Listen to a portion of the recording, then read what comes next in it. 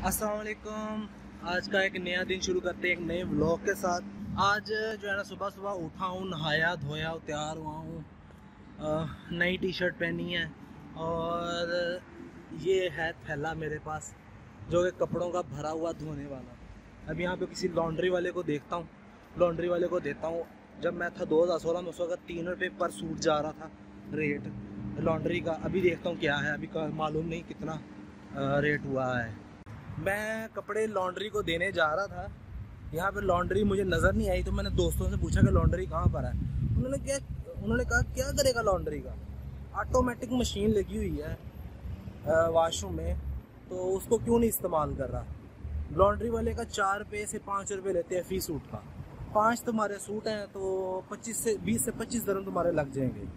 तो बेहतर नहीं है कि डेढ़ दरम का, सर्फ का पैकेट पकड़ो, उसको डालो वॉशिंग मशीन में। और धो लो। आधा घंटा उसको चलाओ, साथ में घर बात करते रहो, मशीन कपड़े धोती रहेगी, उसको हंगाल के बाहर वाली जगह पर डाल दो। तो ये ज़्यादा इजी वे लगा मुझे। मैंने कहा, पैसे की बचत है तो यही कर लेते हैं आज। तो फ़र्स्ट टाइम ट्राई करने लगा हूँ। देखते हैं ट्राई करके कि ये कैसा काम है। क्योंकि मैंने ज़िंदगी में अपने ना वॉशिंग मशीन पहले लगाता था, लेकिन अब भूल गया हूँ कैसे लगाते हैं। तो अभी देखता हूँ, आज ट्राई करके। और बाहर तो मैं निकला ही हुआ था, मैंने कहा चले, नाश्ता कर लेते हैं नाश्ता करके कपड़े पकड़ता हूँ शॉप पे रख के आऊँ। कपड़े पकड़ता हूँ, उसको रूम में लेके जाता हूँ उसको धोता हूँ आज।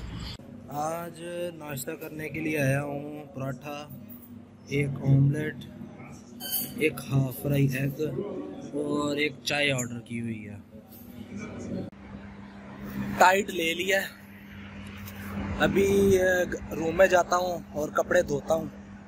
इसी में कह रहे थे कि सारे तुम्हारे कपड़े धुल जाएँगे, डेढ़ रुपए का आया, वो पच्चीस रुपए लगने थे उसके ऊपर, बीस से पच्चीस रुपए या डेढ़ रुपए में धुल जाएँगे। लेकिन एक मसला ये होगा कि इसमें प्रेस करके भी मिलते हैं, लेकिन मुझे प्रेस इसमें खुद ही करने पड़ेंगे। जीन्स की पैंट है ज़्यादातर तो जीन्स की पैंट को तो इस्त्री करने की ज़रूरत नहीं पड़ती टी शर्ट है उसको इस्त्री करना पड़ेगा। चले, जब चाहिए चाहिए होगी तो एक दफ़ा प्रेस कर लिया करूँगा। अभी तो पाकिस्तानी पैसे खर्च कर रहा हूँ ना, इसलिए थोड़ा सा इस तरह चलूँगा। जब जॉब लग जाएगी, तब टाइम का इशू हुआ करेगा। अभी तो फ्री हूँ। टाइम का भी इशू हुआ करेगा। तो फिर बाहर से धुलवा दिया करूँगा आइडिया उन्होंने अच्छा दिया रूममेट्स ने कि खुद ही धो लो। तो बेस्ट वे है। अभी वॉशिंग मशीन खाली की है, इसमें पानी भरूँगा। यहाँ से पानी भर के यहाँ पे डालूँगा और फिर इसमें थोड़ा सा टाइट डालूँगा। एक दफ़ा उसको रोटेट करके और निकाल के दोबारा पानी डाल के, दोबारा कपड़े डाल के बकाया टाइट डालूँगा। ये मुझे इंस्ट्रक्शन मिली ऐसे धोना। है उसके बाद, धोने के बाद खुश्क करूँगा। खुश्क के लिए आई थिंक ड्रायर इसकी है कि नहीं है? ड्रायर भी है, ठीक है?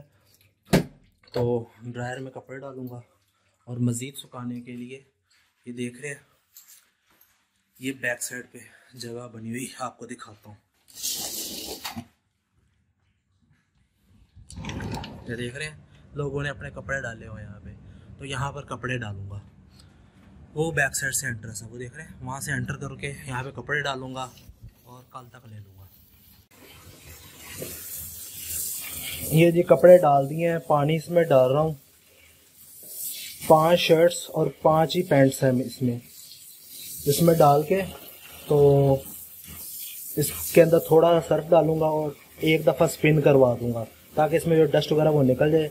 दोबारा फिर पानी डाल के और इसको स्पिन करवाऊँगा दो से तीन बार सर्फ के साथ, ताकि इसमें से सारी मैल वगैरह भी निकल जाए।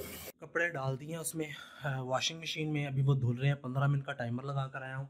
जैसे वो धुल जाएँगे, उनका पानी निकाल के दोबारा डाल के उसमें सारा सर्फ डाल दूँगा, ताकि उसमें सारी मैल वगैरह भी निकल जाए। फिर पंद्रह मिनट के लिए चलाऊँगा, दो दफ़ा चलाऊँगा पंद्रह मिनट के लिए, ताकि अच्छे तरीके से धुल जाए।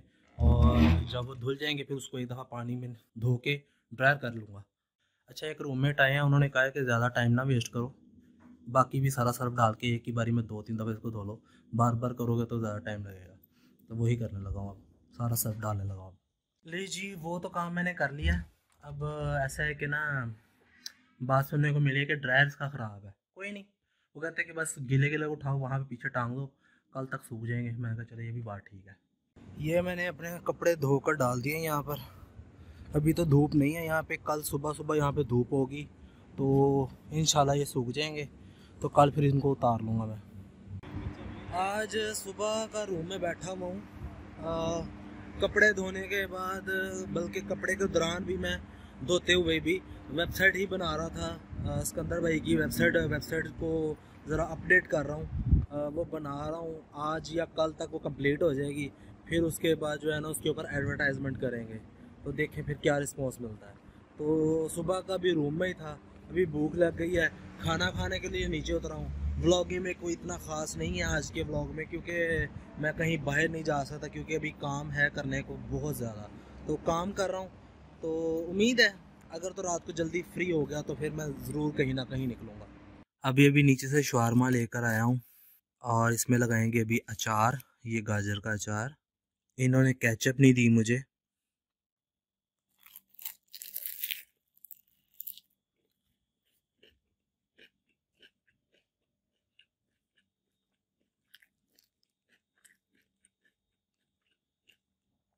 मज़ेदार। अभी रात हो गई है ग्यारह बजने वाले हैं। रात का खाना खाने के लिए आया हूँ। आप लोग भी देख रहे होंगे ब्लॉग में कि सिर्फ़ सुबह दोपहर शाम खाना ही खा रहा है। असल में सारा दिन रूम में होता हूँ तो वो आपको मैं क्या दिखाऊँ? तो उसका मैं ब्लॉग नहीं बनाता, बाहर निकलता हूँ सिर्फ़ खाना खाने के लिए तो उसी का ब्लॉग बनाऊँगा। तो इसलिए आपको सिर्फ़ सुबह दोपहर शाम का खाना ही नज़र आ रहा है। आज स्पेशल डिश खाने के लिए आया हूँ। चिकन है।